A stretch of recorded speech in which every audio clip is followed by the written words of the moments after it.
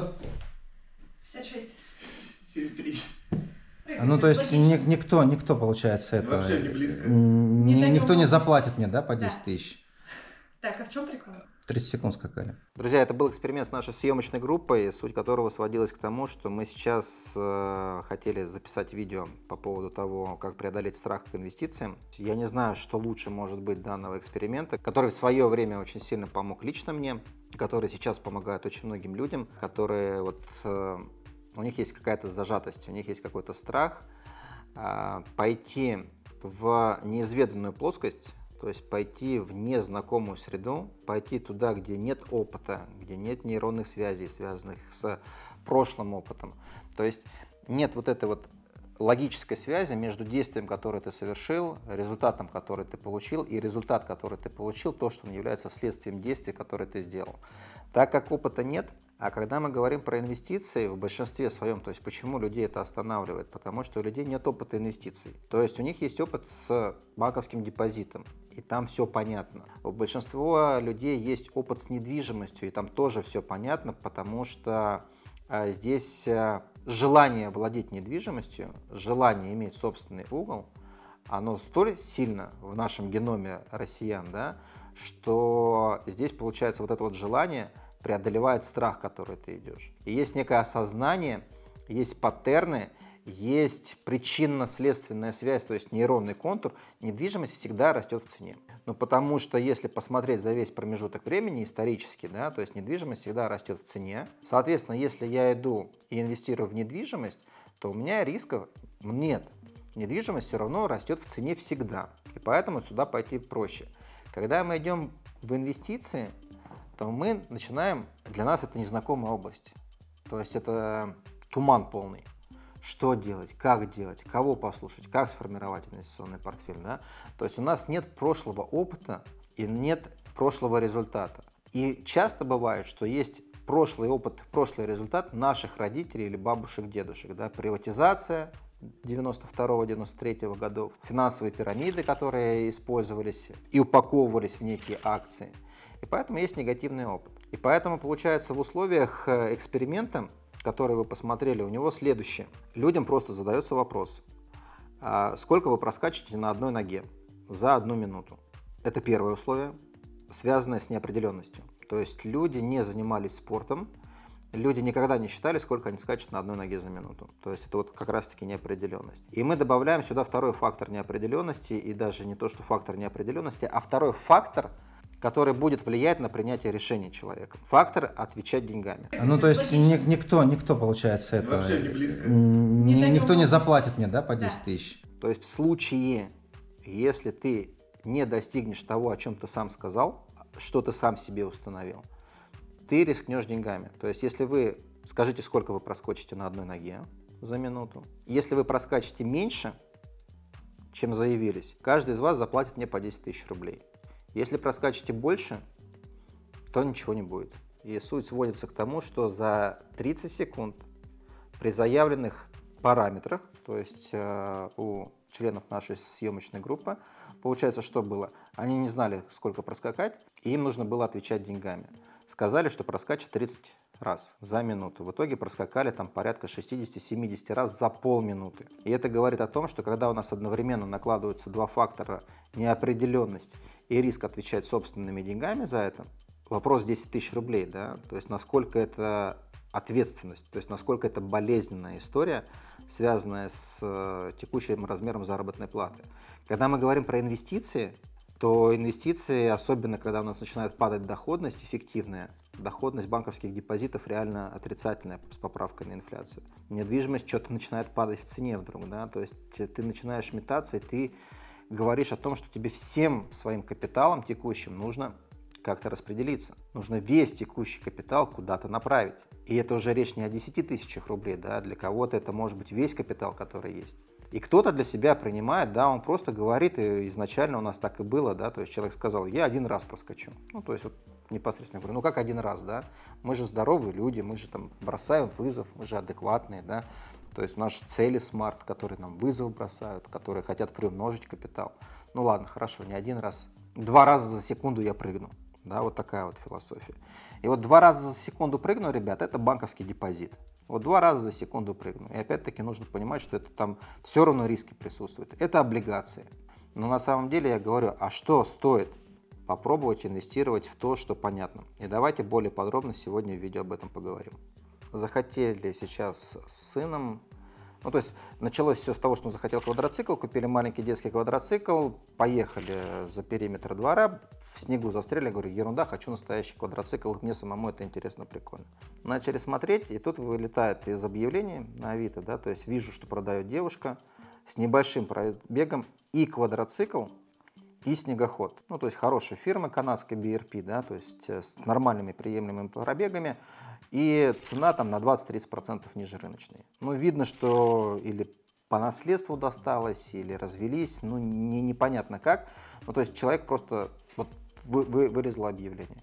Я пока думал, слушай, ну прикольно, то есть и квадроцикл, и снегоход хороший, там за миллион семьсот можно купить, да, то есть, а новый там стоит, такой же комплект будет стоить, не знаю, миллионов шесть. Пока думал, объявление уходит, пишу по другому объявлению, а у вас было? Говорят, да, приехали, забрали. То есть забрали там за один день. Я не успел на один день непосредственно. То же самое про инвестиции, когда мы говорим. То есть я сейчас, а после понимаю, что надо было просто ехать, звонить, покупать, привозить домой. И просто, даже если бы я не стал ездить, даже если бы мы не стали на этом кататься, просто можно было бы перепродать с наценкой 30%, просто по рынку выставить. Потому что человек, видимо, не хочет этим заниматься, не сделал эту сделку. Хотя задним умом понимаю, что в принципе, наверное, нужно было. Сколько людей я вижу, да, которые опять чего далеко ходить. То есть видео у нас на канале публиковали, да, то есть топ акций, которые нужно покупать. Сбербанк, ну то есть это было полгода назад, да, видео выходило. Сбербанк, там позитив, ну то есть две из трех, да, компаний. Сколько было комментариев это когда купил Сбербанк по 300, да, и теперь остался, будешь в нем вечно сидеть. То есть я говорил, что тогда имеет смысл купить, исходя из того, что происходило на рынке, да, насколько было иррационально поведение толпы. Высокие спреды покупки-продажи валюты, высокие спреды покупки-продажи драгоценных металлов. Да, я же понимаю, что это прибыль, прибыль банка, которая при прочих равных восстановится. И какое количество людей, даже те, кто смотрит наши видео, которые подписаны на канал, в принципе взяли и купили. Да? Ну, купить Сбербанк сейчас дистанционно можно открыть брокерский счет. Тогда Сбербанк стоил там в районе 100 рублей. То есть 100 рублей, э, минимальный лот 10 акций. То есть 1000 рублей достаточно было для того, чтобы купить акции Сбербанка. То есть это не так страшно, не так сложно. Но ты бы уже получил опыт и, наверное, по-другому смотрел. С пониманием того, что 100 рублей можно было купить, сейчас Сбербанк заявляет о том, что он 25 рублей дивидендов направит на акцию. 25 рублей на вложенные 100 – это 25% дивидендной доходности. По крайней мере, инфляцию человек точно преодолевает на какую-то тысячу рублей. И поэтому здесь получается, что надо просто пробовать, да, и каким образом? Понимать, что если ты занимаешься классическими инвестициями, а классические инвестиции, что я под этим подразумеваю? Это вложение денежных средств в объекты предпринимательской деятельности с целью получения прибавочной стоимости. То есть это не спекулятивный доход. Это то, какой денежный поток я буду получать с этого актива. И это получается, как вот с моим там, BRP, да, э, возможностью покупки там, снегохода и квадроцикла, в самом крайнем случае можно было отдать куда-нибудь, сдавать их в аренду, да, кататься непосредственно самому, то есть понять, каким образом с этого можно получать денежный поток. Можно было спекулятивную прибыль получить, да, сколько стоит, там, я не знаю, один час аренды квадроцикла. Можно просто это сделать, чтобы дети занимались непосредственно там сделали это как маленький бизнес. Сформирование с позиции формирования денежного потока. Поэтому вот такой вот пример хочется привести, что смотреть это как, э, если я вкладываю в объект предпринимательской деятельности, который получает прибыль, страшного ничего нет. Потому что любой предприниматель, даже если будет высокая инфляция, он инфляционные издержки сам на себе тянуть не будет. Он по-любому их будет перекладывать на потребителя, если маржа позволяет. Поэтому начинать с чего-то понятного. То есть то, что понятно сейчас, сейчас понятно иррациональное поведение людей. Если ты понимаешь, что дебилы люди, которые там по 120 э, рублей курс доллара, да, а по 140 его получают в обменнике, ну купи банки. Тогда ты как думаешь, окей, какие банки доступны? Сбербанк, ВТБ, Тиньков, Банк Санкт-Петербург, из публично торгующихся, да? Посмотри, соответственно, с какой рентабельностью работают. Зайди в отчетность, да, посмотри, какая рентабельность э, собственного капитала у банка. понимаешь, что вендоры, которые занимаются безопасностью, да, кибербезопасностью, уходят с российского рынка, значит, конкуренции становится меньше. Рынок раздвигается за счет ухода конкурентов. Кто тогда остается, да, кто здесь присутствует? Сейчас, в настоящий момент, да, идет речь о том, что э, Россия продлила зерновую сделку на 60 дней. Да. Поставили требования, ребят, давайте так, выполняйте условия самой сделки. Да. То есть Украина выполняет свою часть сделки, Россия выполняет свою часть сделки, никому ничего не препятствует. Вы свою часть сделки не выполняете, да? Что происходит с российскими минеральными удобрениями, что происходит с поставкой сельскохозяйственной продукции. И нужно понимать, что, скорее всего, в течение 60 дней вопрос будет решен. И тут можно предположить вариант номер один. Он решается позитивно, и тогда получается разблокируется удобрение, которое находится в европейских портах, открывается трубопровод, аммиачный. Кого покупать? Тольятти Азот, Акрон, Фосагра, да, кто еще у нас из публично торгующихся производителей удобрений. И тогда нужно понимать, что вот когда есть неопределенность, когда это есть, посмотрите на цены этих активов, сколько они стоят. А если откроются? А если опять-таки будут экспортеры зерна продавать свою сельскую продукцию? Кого тогда можно купить? Как в этом случае тогда заиграет акции компании Росагра? Посмотреть отчетность Росагра, да, то есть опять-таки убыток, падение выручки, но никто не разобрался в структуре, да. То есть если они просто тупо собрали, сделали, но не продали, потому что экспорт был, и у них пока что это все на складе хранится, да, ну то есть конъюнктура изменится, они будут продавать по более высокой цене, что через год тогда произойдет с этими акциями. И здесь получается, что нужно просто здраво подходить, да, то есть как минимум посмотреть чуть дальше собственного носа, да. Я вот сейчас привел несколько примеров, да, которые можно посмотреть. Если вы с этих позиций инвестируете, ну какие тогда у вас риски есть? Окей, пример зерновой сделки. Скажут, нет, по барабану мы не будем свою часть выполнять. Россия говорит, окей, не будет экспорта ту пшеницу, ту кукурузу, которую поставляет Украина, мы отказываемся, снова туда там блокируем порты. Что произойдет с мировыми ценами на пшеницу? Что произойдет с ценами на продовольствие? Они взлетят. Если они взлетят, в любом случае будут находиться какие-то дружественные страны, которые будут пытаться на этом заработать. Там Турция будет впереди планеты всей, да, сделают какие-то опять логистические поставки через какие-то третьи, четвертые страны, которые будут вывозиться сельхозпродукция. И все равно будет. В России то же самое, да, конкретно мой пример, когда я ездил, смотрел землю в Новосибирске, да, когда я там с производителем сельскохозяйственным разговаривал, он говорит, ну что, цены упали там в два раза на сельхоз. Мы в этом году просто элементарно засеем меньше. Просто меньше засеем. Если мы в этом году засеем меньше, соответственно, урожай будет меньше. Будет урожай меньше, даже на внутреннем рынке все равно цена вырастет. Есть книжка, называется «Покер лжецов». Как раз там э, вот, рассказывают, да, пример приводят, когда еще человек был э, стажером, один из трейдеров говорил, когда произошла авария на Чернобыльской АЭС, он говорит, давай скупай фьючерсы на картофель. Да, то есть э, на, на сельхозпродукцию, на картофель. Он говорит, какая связь между взрывом там, атомной станции где-то в Чернобыле и, и картофелем. И вот это вот достаточно простая на самом деле логистическая цепочка, да, то есть есть заражение, то есть урожая не будет, урожай будет опасный, и на самом деле целая зона может быть заражена, и из этой зоны, в принципе, никогда в ближайшие там, лет 50 не, не придет э, урожай на мировой рынок, не будет поставок, и, соответственно, это доля, доля рынка, которая должна заместиться.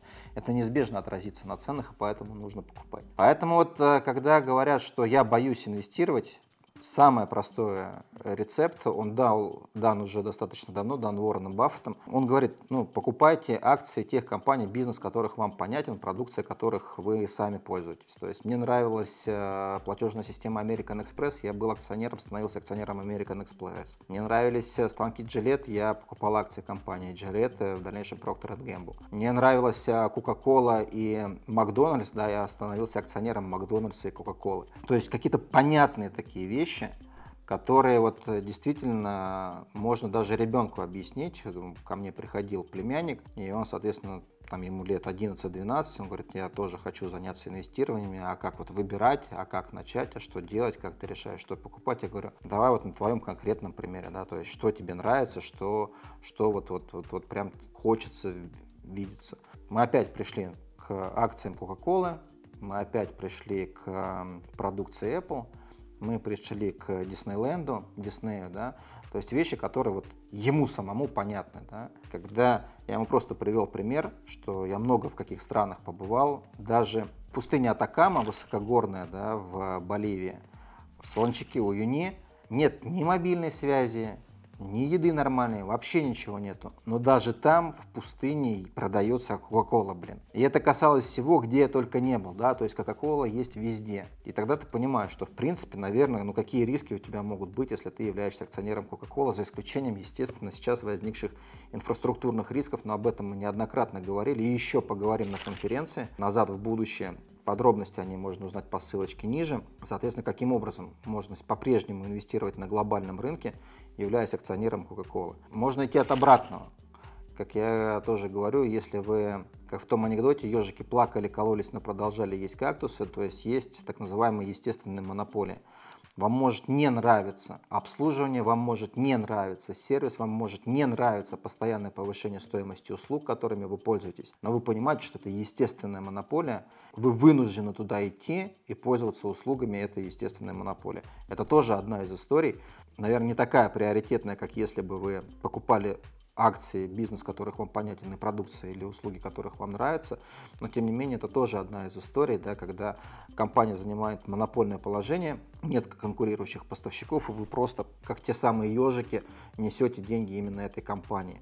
Но тогда у нее привилегированное положение, она будет зарабатывать в любое время, пока не появится конкурент. Э, региональный оператор, то есть это, наверное, в меньшей степени «Газпром», потому что есть э, региональные операторы облгаза, райгазы, да, то есть они, соответственно, из трубы берут и, и поставляют. Раз, два, они, как правило, не публичны. То есть если мы говорим про какие-то региональные газы, реггазы, да, там, края, области, они не публичны. То есть здесь нужно смотреть, кто является публичным. И порой тоже я там в качестве примера приводил Сбербанк, да, то есть люди там в Москве, в областных центрах в меньшей степени, да, а вот если в районах особенно посмотреть, ну там монополия, да, то есть там до недавнего времени вообще ничего не было, кроме отделения там Сбербанка того же самого. Все коммуналки через него проходят. Люди упорно им говорят, слушайте, вы будете через кассу платить, у вас это будет там на 3-5% дороже, никто не принимает систему удаленных каналов, то есть никто не пользуется сболом, все по традиции идут в стабильно, э, ежемесячно, да, они идут в отделение и в отделении непосредственно платят. Когда ты приходишь и говоришь в Сбербанке, разменяйте мне 5000 рублей по 1000, тебе говорят 3,5% комиссии за эту операцию. Кто-то разворачивается и уходит, а кто-то, у него альтернативы нет, да, он не может по-другому никак. Ему банкомат 5000 выдал, а на рынке 5000, опять я говорю сейчас про какой-то прям районный центр, да, 5000 просто сдачи у кого-то нет. И поэтому они вынуждены это делать, и ты понимаешь, что как бы, банк на этом зарабатывает. Ну что ж, друзья, мы поговорили о том, каким образом преодолеть страх. А, нужно понимать одну простую историю, что, к сожалению, не мы виноваты, да, то есть в том, что происходит. Это система образования. Я не говорю, что система образования в России плохая. Просто вот эта вот оценка, которую нам дают пятерки, четверки, тройки, двойки, то, что ты сделал, да, особенно это бывает тяжело отличникам, да, то есть э, когда данный эксперимент, который вы видели вначале, проводится с отличниками, я могу сразу распознать отличников. И распознается, а, с одной стороны, они делают э, такие амбициозные выборы, ну, то есть они обычно говорят 60 раз я за минуту проскочу, вот 60 плюс раз за минуту, как правило, говорят отличники и хорошисты. Но самое интересное начинается, когда включается секундомер.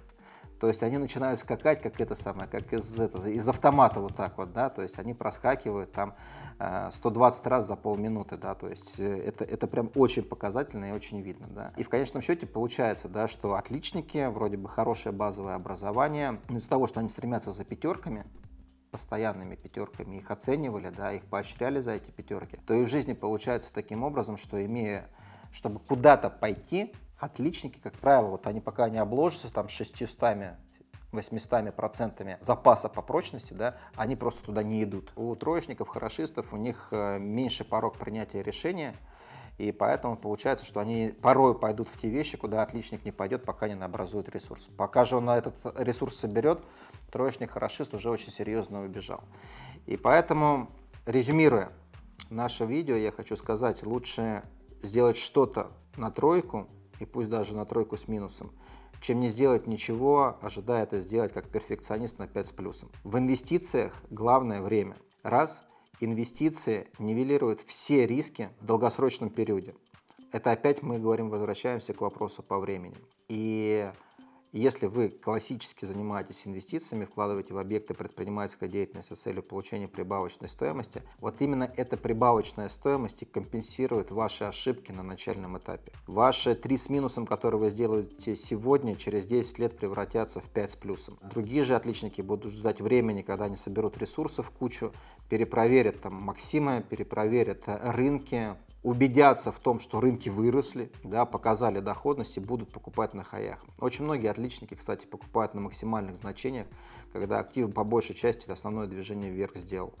Я не то что призываю будьте троечниками, я призываю к тому, снизьте важность, снизьте порог принятия решения, начните уже прямо сейчас. Хорошим э, инструментом входа в эту историю может являться проект «Миллион за 8», где я уже инвестирую, инвестирую для своих детей, и вы можете присоединиться к этому, понять, для чего я это делаю, зачем я это делаю. Ссылка о том, как это работает под данным видео внизу. Проходите, смотрите, начинайте.